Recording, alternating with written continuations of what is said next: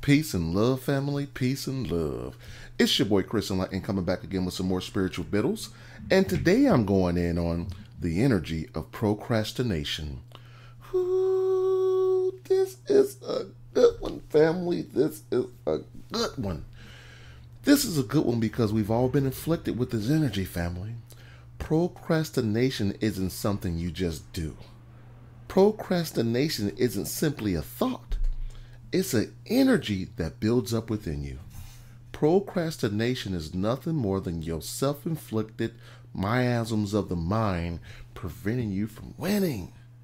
That's it.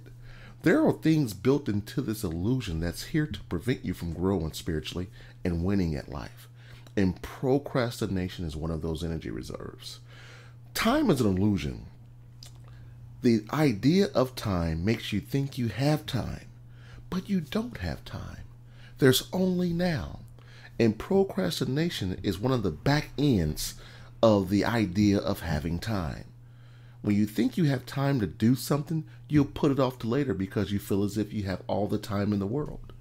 But procrastination is an energy reserve that's within you that prevents you from growing spiritually, family. That's all it is. I remember back when I was in high school, when I was embracing procrastination, I would always put everything off to the last minute, and then I would convince myself that I worked better at the last minute. And throughout my high school years, I was a master procrastinator. And I was fighting for my limitations by telling people, yeah, I'll wait to the last minute. I'll do my best work at the last minute. All I was doing was making procrastination stronger within me. I was making the reservoir of procrastination build up in me so strong that I embraced it. But I'm here to tell you, family, the more you procrastinate, the easier it is to procrastinate. You know, I have a little ball that I, I call my procrastination ball. And when I wake up in the morning, I act as if all the procrastination is being sucked out of me into this ball. Now, again, it's just a crystal ball, but I call it my procrastination ball. But since I've been using this procrastination ball, I'm here to tell you, family, just the idea of me giving that ball all my energy, I no longer procrastinate. I do everything when I say I do it. I was on my way to work, but I was like, you know what? I'm about to make this video because it's on my mind now. Let me do it.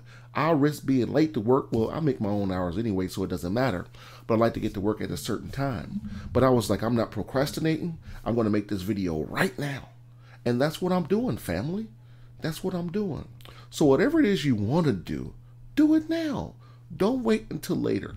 Who cares if it's good or not? Just do it. Just do it. Sometimes you can do something and you don't have to release it to the public, but by you doing it, you'll learn from it. But when you put it off and trying to make sure it's perfect, you may end up never doing it. And I see a lot of people holding on to things and not allowing the universe to express themselves.